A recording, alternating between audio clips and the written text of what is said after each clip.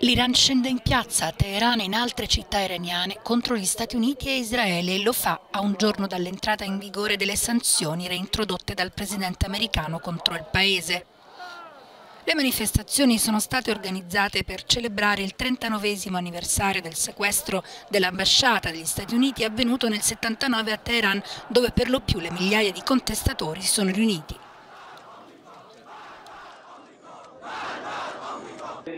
Intanto il capo della Commissione Esteri e Sicurezza Nazionale del Parlamento iraniano ha ribadito che non cadranno nella trappola di Trump. Le sanzioni di Trump contro il popolo iraniano ci hanno uniti ancora di più e più si scagliano contro di noi più resistiamo. Il popolo iraniano dimostrerà a tutti la fedeltà verso il loro supremo leader Khomeini.